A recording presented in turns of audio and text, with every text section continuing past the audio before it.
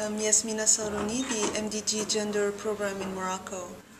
It's the multi-sectoral program for the fight against gender-based violence through the empowerment of women and girls in Morocco. But the Ministry of Social Development and the national counterparts had decided to give it a Moroccan name, and they called it Tamkin, which means in Arabic empowerment. Uh, the main objective of the program is working on gender-based violence, you know, fighting against gender-based violence, of course, but through the empowerment of women and girls, through establishing the linkage with their poverty and vulnerability.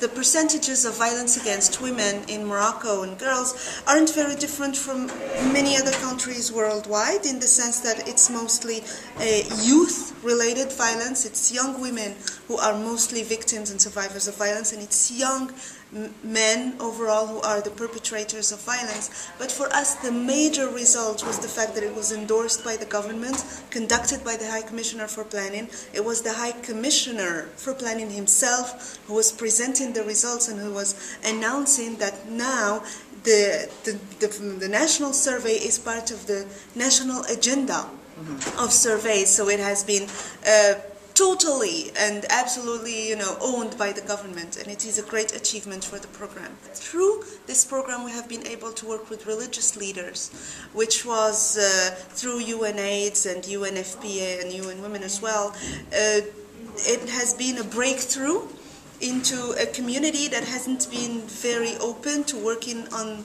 the issues of women's rights, but also gender-based violence and HIV/AIDS. And so now there are ready uh, made, you know, guides for uh, religious leaders, both male and female, and imams, and also training modules that can be duplicated and, you know, shared at the level of the region and not just at the level of Morocco. When Tamkin started, there were very few multifunctional sheltered, shelters that didn't necessarily abide by the international norms and standards. Not even in Morocco did we have a clear idea. So an assessment was done, some shelters were established, and now through the efforts, through the program, um, uh, we could see a lot more shelters that, first of all, abide by the rules, and also that empower uh, all those women who are survivors with services that were not provided before. So we can always write a thousand reports about these shelters and bring pictures, but it's only when you meet the women who have been through hell who are survivors of violence, who are outcasts, who had nowhere to go in the past, who didn't even have the law with them because the reform is ongoing.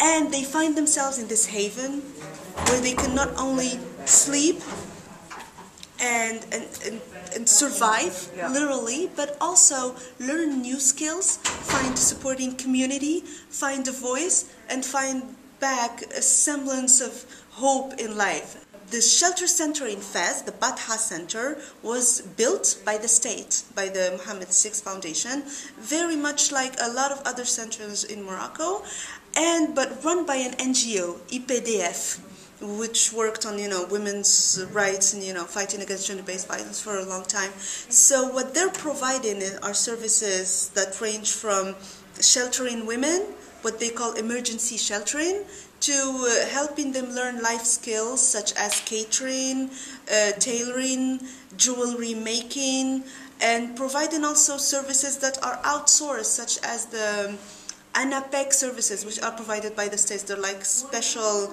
you know, services to help women who already have uh, degrees or diplomas find jobs. The key to breaking the cycle of violence against women is empowering them, and that's that's the philosophy of Tamkin as well. It's linking gender-based violence to the vulnerability and poverty of women.